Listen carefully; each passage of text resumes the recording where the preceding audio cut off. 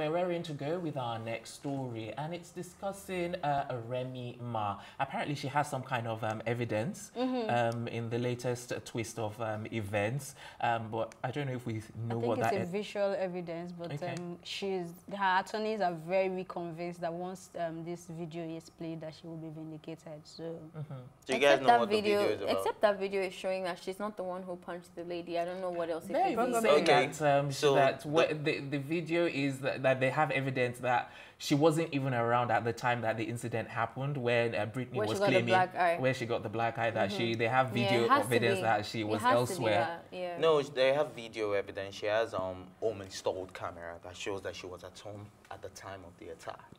And that afterwards, when she claimed she was attacked as well, they said she had to stop to get stuff for her baby. So she wasn't. She didn't get to the venue until 15 minutes to the time of a performance. So how could she have attacked somebody when she wasn't even there at the time? And then they said they also have video um, footage of the alleged. Um, fight.